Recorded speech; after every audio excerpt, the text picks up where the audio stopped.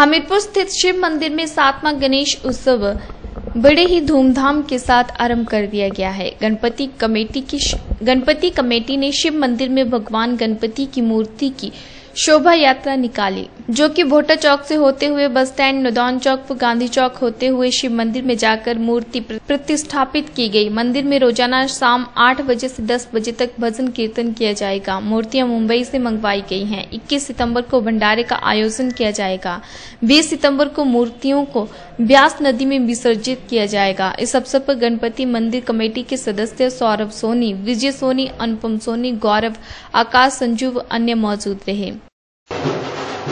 Ganpati Bappa Maurya committee द्वारा हर साल की तरह इस साल भी सातवीं बार हमीरपुर शहर में सार्वजनिक गणेश उत्सव बड़े धूमधाम से मनाया जा रहा है।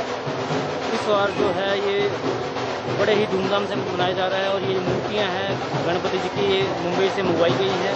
और मान्यता है कि इन मूर्तियों से जो भी कोई सच्चे मन से माँगता है, उनकी मनोकामना अवश्य पूर्ण होती है। आज तेरह तारीख को इनकी स्थापना शिव मंदिर हमीरपुर में की जाएगी और इक्कीस तारीख को भंडारे का आयोजन किया गया है। बाईस तारीख को शनिवार के दिन इनका विसर्जन आह्वान व्यास नदी में किया जाएगा और सभी इलाकावासी से मेरा निवेदन है कि वो मंदिर में आए और शाम को आठ से दस भजन संध्या का आनंद लें।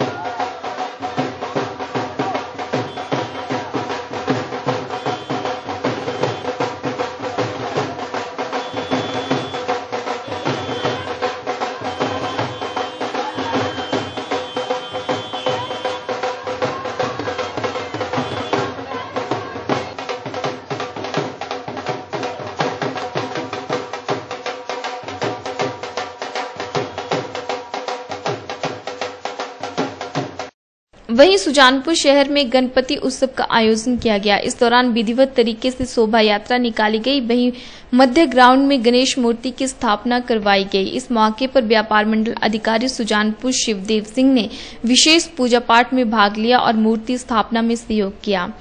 स्थानीय युवाओं के सहयोग से सुजानपुर में गणेश उत्सव का आयोजन 23 सितंबर तक चलेगा। गणेश उत्सव में प्रतिदिन पूजा पाठ, भजन कीर्तन व आरती का आयोजन होगा। वहीं अंतिम दिन विधिवत शोभा यात्रा निकालकर मूर्ति ब्यास संगम में विसर्जित की जाएगी।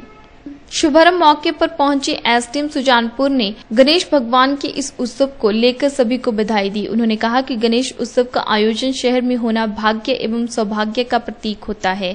व्यापारिक दृष्टिकोण, सुख, शांति एवं अन्य आध्यात्मिक शांति के लिए इस गणपति उत्सव का आयोजन किया जा रहा है। इस मौके पर नगर परिषद उपाध्यक्ष कमलेश कुमारी, बाढ़ पार्षद ज्योति शर्मा, पंचायत प्रधान विनय कुमार, थाना प्रभारी सुजानपुर श्यामलाल एएसआई चमनलाल, गणेश उत्सव कमेटी, आयोजक मनीष कुमार विशेष रूप से उपस्थित रहे।